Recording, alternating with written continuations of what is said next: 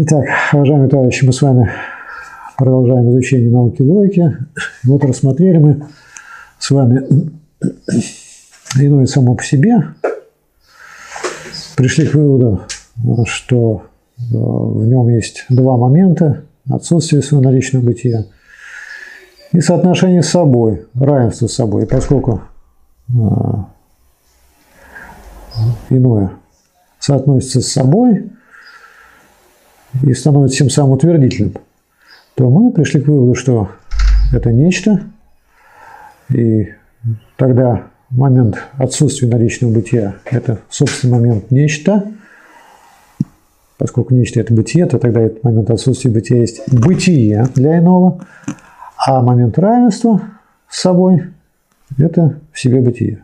Дальше мы зафиксировали, естественно, вслед за Гегелем, что в себе бытие и сначала э, представляется только как противостоящее, как вне бытия для иного, да, э, существующее. Но на самом деле при ближайшем рассмотрении в себе бытие предстает как не бытие, а бытие для иного, да, и тем самым с ним связано, да, а не разведено.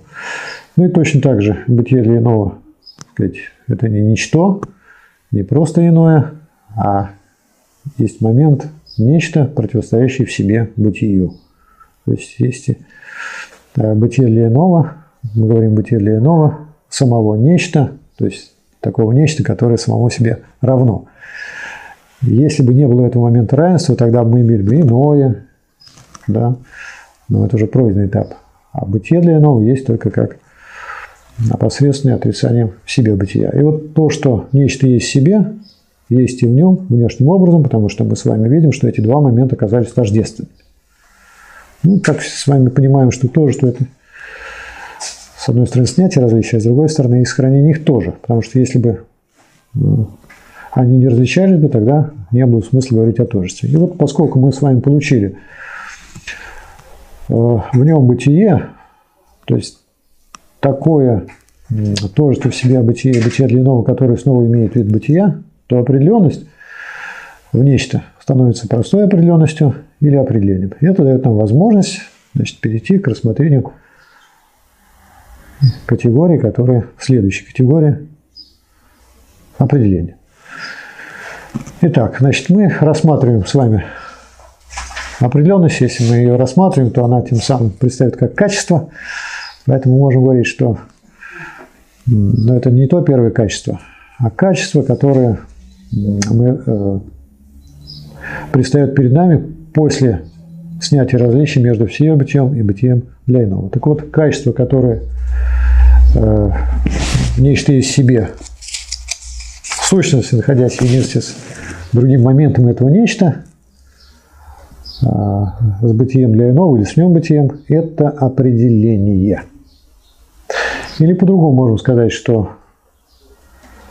определенность, утвердительная определенность, а в себе это же утверждение, соотносящееся с собой, утвердительная определенность как в себе, бытие, да, это определение. У Гегеля есть и то, и другое определение.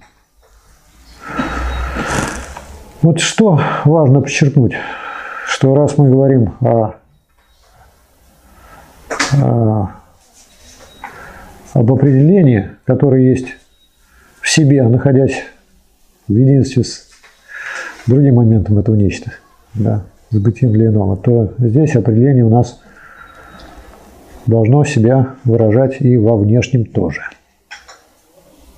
Потому что если бы определение состояло только в том, что что не выражается, то тогда мы бы вернулись к чему-то прежнему. Да. Мы бы тогда неправильно просто понимали с вами бы в себе бытие.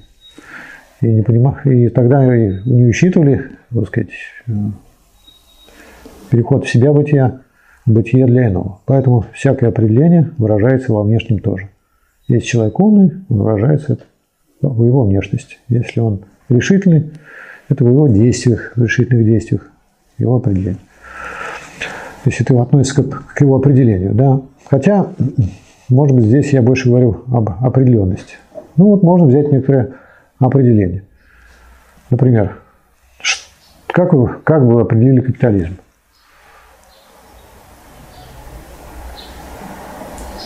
Ну, есть классическое определение. Та стадия товарного производства, когда рабочая сила становится товаром. Если бы сказать, что... А вот если бы сказали, капитализм – это товарное производство. Было бы это определение капитализма?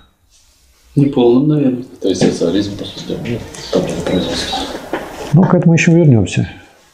Ну, вот такое товарное производство, которое, да, не, не, не связано с куплей-продажей рабочей силы, су- существует, имело место быть в истории. Мелкие крестьяне, работающие на рынок, мелкие буржуа. Они, кстати, при феодализме были. Да, поэтому если мы вот так ограничились бы таким а, рассмотрением, это было бы не точно. То есть тогда бы мы капитализм не выделили бы из общей ситуации товарного производства, из, э, не отличили бы его от бытия для иного, вот этих мелких товаропроизводителей, которые не эксплуатируют чужой труд, или, точнее говоря, это для них не является определяющим признаком. Они могут эксплуатировать, но вообще говоря, э, сказать, они сами тружники. Это их, это их определение мелкий буржуа, то есть мелкий товаропроизводитель, работающий на рынке. Что значит мелкий? Значит, не нанимающий регулярно рабочую силу. Ну, тогда это не капитализм. Другое дело, если мы будем рассматривать более внимательно эволюцию мелкого буржуа, то мы увидим, что он имеет тенденцию или к превращению в пролетария, большинство, или к превращению в капиталиста. То есть тогда он занимается наймом рабочей силы. Вот поэтому мы не можем считать э, утверждение, что капитализм – это товарное производство, его определением. Определение стоит в том, что он та стадия товарного производства, когда рабочая сила становится товаром. Поэтому современный капитализм есть у него бытие или иного? Вот такое, которое... Ничего только нет в современном капитализме. Есть просто рабские отношения. Рабский труд не применяется, что ли? Ну, прям рабы захватывают. Что такого нет? Есть. Есть тот, кто пытается что-то сам сделать на рынок. Такие тоже есть. Ну и вот, тем не менее, противовес этому капитализм себя утверждает как равный самому себе, и он, конечно, в этом смысле доминирует. Хорошо. Значит, мы с вами оп- определили определение э, через в себе бытие. Но мы с вами говорили, что между э, произошло снятие различия в себя бытия бытия иного, раз произошло снятие различия, значит, второй момент совсем исчез. Или он, или он есть? Есть. Или как? Как снятый, да? Значит, поэтому мы должны э, рассмотреть э, определенность нечто со стороны бытия для иного. И вот такая определенность, взятая со стороны бытия для иного, как бытие для иного, это Характер. характер. Ну, это помните анекдот, говорит, уважаемый госпожа Идир Ганди, Тэтчер, Тэтчер, Ганди, Тэтчер, сам вижу, что Ганди, а написано Ганди. Ну, у меня тоже, вы говорите характер, а у меня написано свойство, сам знаю, что характер, но у меня свойства, да. Ну, у меня тоже свойства.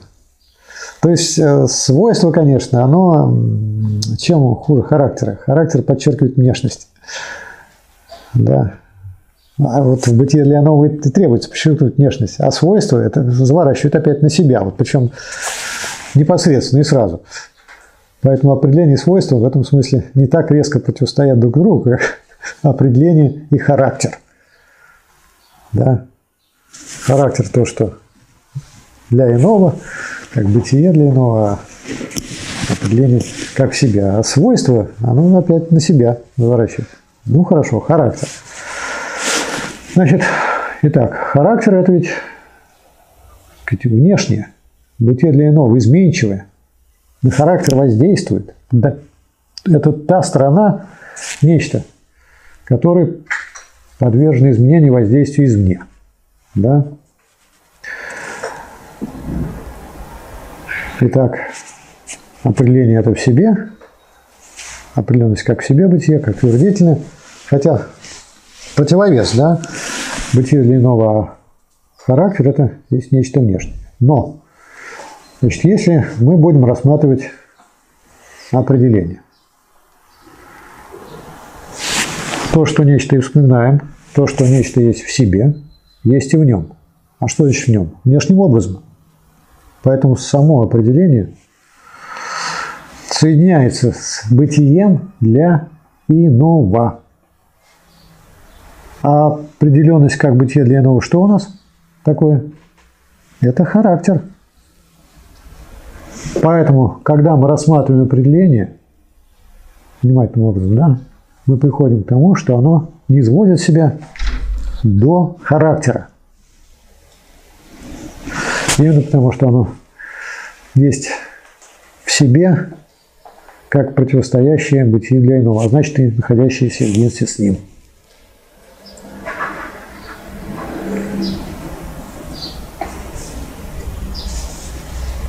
Так а это, это разве нас удивляет, что определение переходит в характер. Твердый человек, у него твердый характер. Так это его собственное? Он в этом равен себе или не равен себе?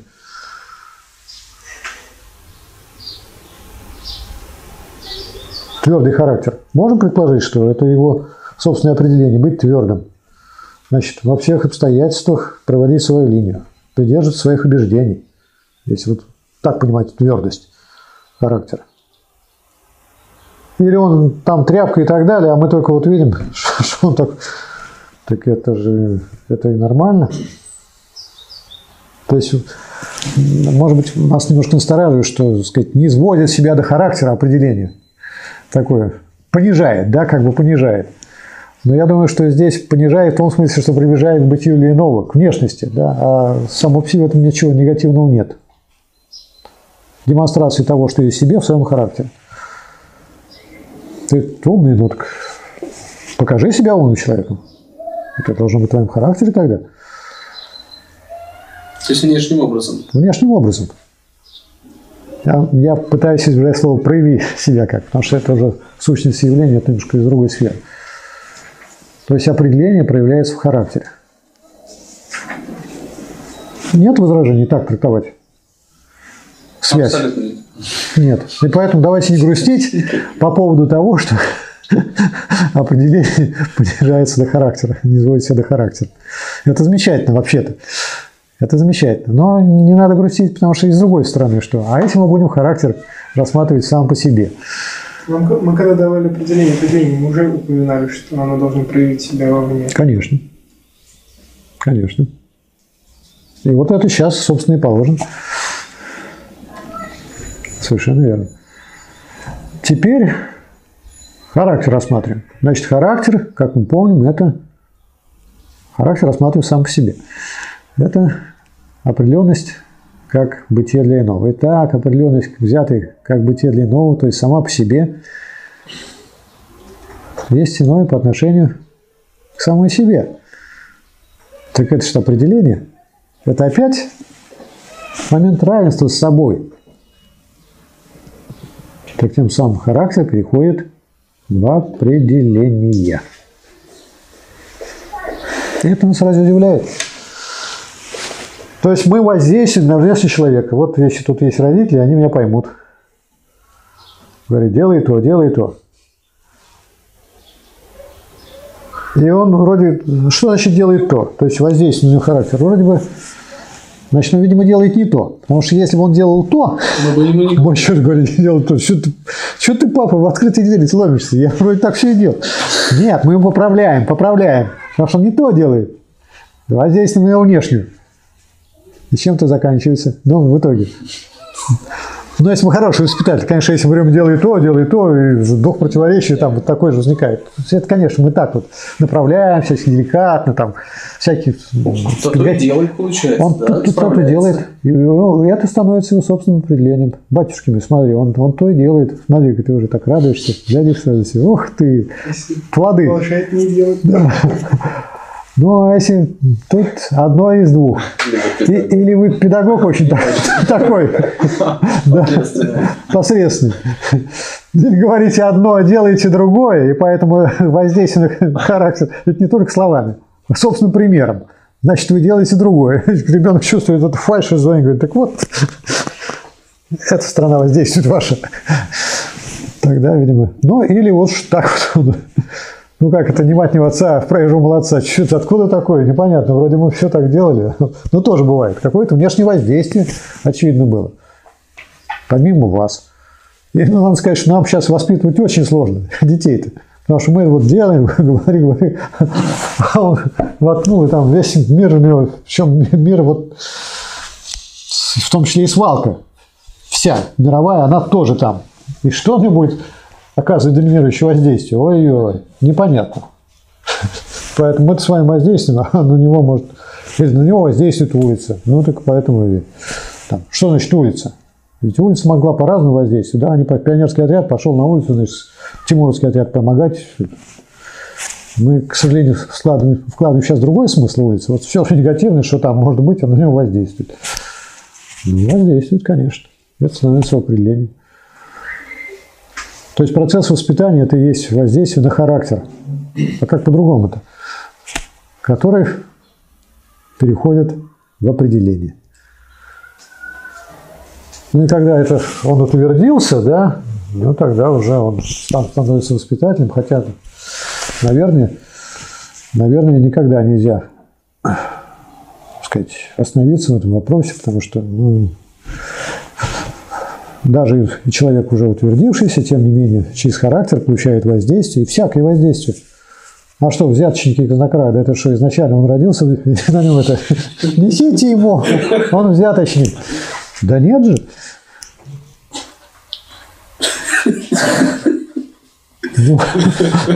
Ну, да, да, вот мы и так воспитываем, как это взять. Никто же так не делает, наверное. Ну, я не знаю, так, по крайней мере, представление, такое уж. А вдруг откуда же это берется? Да, переродился. Ну, сколько таких?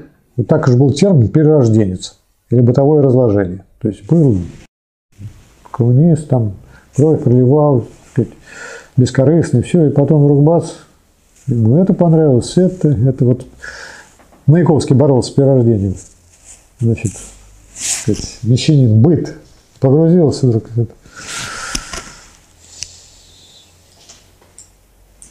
То есть это тоже воздействие через характер, становится собственным определением. То есть это тоже штука очень противоречивая получается.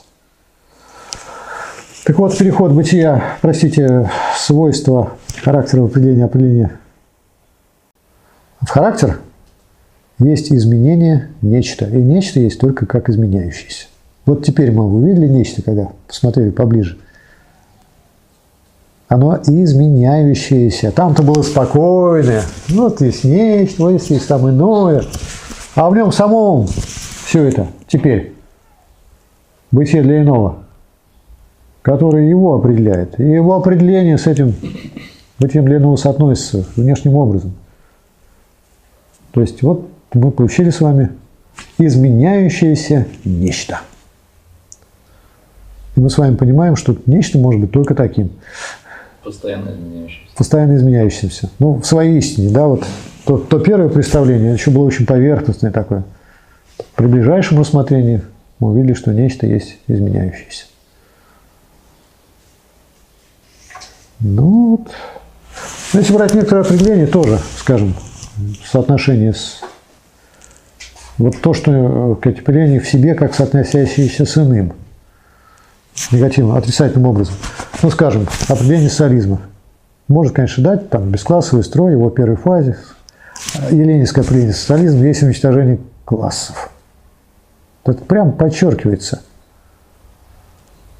что в себе, как отрицательно соотносящиеся с иным, как уничтожение класса. Такое определение исключительно диалектичное.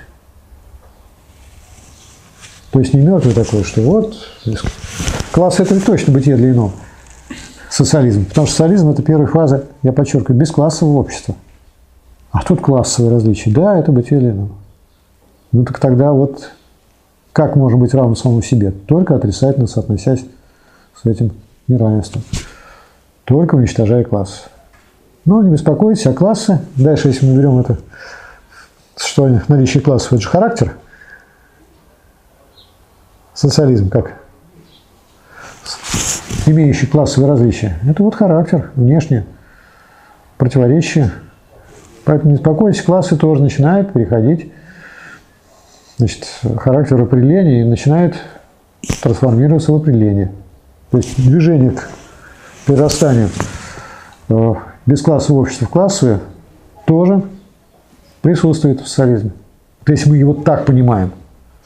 Социализм и уничтожение классов, то есть отрицание классов. А, а классовые различия отрицательно не соотносятся с социализмом. Еще как соотносятся? Кто сознательно, кто бессознательно. Мелкобуржуазные стихии. Нам бы рвать, а там трава не расти. Да, никаких политических программ не надо. Просто рвать и все. А когда каждый урвет, так он и рухнет социализм. Ну, каждому человеку, наверное, свойственно стремление к частному, стремление к общему. Да, это противоречие каждого человека, совершенно верно. Каждого человека. Как один мой знакомый сказал, мне без разницы, кто придет. Красные придут, Да, белые придут. Главное, частные. Лишь бы работать давали. ну работать давай, на так и говорили. Так это... Уймите время ваше упасть. Мы обыватели, нас обувайте вы, и мы уже за вашу власть. Вот это как раз нам безразлично. На самом деле это не безразлично.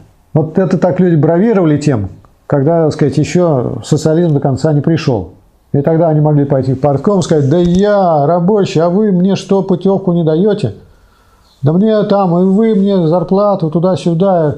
Ну, сейчас хорошо, вот ему безразлично. Вот там, значит, приходящий был социализм, вот сейчас уже утвердившийся капитализм. Ну и чего, как? Насчет путевок? Сходите куда-нибудь? А пожаловаться кому? Ну, если только жене, и то... Путину можно написать. Да, да. он, наверное, что-нибудь ответит. Нет, да, Путин не ответит, потому что письмо не ответит, ответит администрации, которая перешлет это туда, а это перешлет сюда. Ну, это И вас пригласят к руководству и скажут, что же это такое? Да, Давайте, уж так поставили вопрос, я чувствую, мы с вами не сработались. Ну, кто-то должен уйти, кто же? Кто Как вы думаете? Должен остаться один. Должен остаться один. Поэтому все это безразличие, конечно, и бывать-то не будут. Мы за вашу власть. Это иллюзия мелкобуржуазная, что можно сидеть на двух стульях. Мелкобуржуазия, конечно, колоссальным образом выигрывает от того, что, э, скажем, от установления, скажем, пролетарской диктатуры.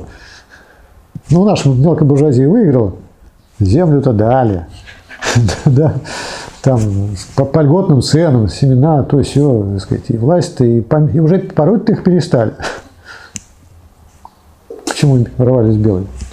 Поэтому, конечно, лучше бы сюда, даже если ты мелкая буржуа, то но для этого надо немножко поразбираться в теории, а они еще не разбираются в теории. Поэтому они говорят, а, нам все равно. Жизнь учит, конечно, но другое дело, что вот она учит и не только этого буржуа, и, вернее, вот это такая школа, так сказать, благодаря которой много чего и теряется и погибает и так далее. далее. еще временной отрезок маленький. Если бы жили 300 лет, можно было понять, что лучше, что хуже, как, как чего. Не, ну Нет, почему? Нет, поколение каждое приходит. поколений все понятно. И уже. Да, а- а новое это поколение, второе поколение, третье, оно уже может сравнивать с тем, оно учится по, по этому опыту, и тогда, конечно, начинается вопль и так далее. То есть в этом смысле учиться можно у жизни, да, это само собой, но у политических представителей классов да, учеба должна быть не только по опыту, но и по теории. Потому что теория – это осмысленный и закрепленный и просветленный опыт всей предшествующей борьбы. Масса учатся не по книгам, но поэтому они очень часто и попадают в такое положение. А вот вождение по книгам, если учатся, это караул. Ну, тогда это противоречит определению вождя. Да? А проблемы есть. Надо слиться с массой, говорит Ленин, не отрываться. Да, сливаясь с, не только, а масса это значит не очень просветленная, но слиться для того, чтобы свет нести процесс, проявлять свое определение в характере, но вы этот свет понесете, а там будет тьма на вас давить. Так вы должны утверждать себя в качестве вождя. То есть еще больше учиться, искать дополнительные аргументы, подходы, поднимать своих, чтобы был более понятным, а не только все время пускаться. Вы все время пускаетесь, так не, не забудьте, что там не так опустите, что и забыли про теорию. Так что, завершая сказать, наше занятие, я хочу отметить, что мы с вами подошли к очень важному понятию изменяющегося нечто. И, так сказать, содержательным. И если мы правильно понимаем изменяющееся нечто, мы очень правильно можем тогда и многое понять, вот опираясь на это, и в нашей жизни, что, конечно, нам важно, учитывая, что мы с вами изучаем не для того, чтобы оставаться в сфере э, философии. Мы с вами профессиональные, и это не наша профессия, и вообще роль философии не в том, чтобы замыкаться самой себе, а чтобы служить основой для преобразования мира в позитивном направлении. Спасибо, пойдем дальше в следующий раз.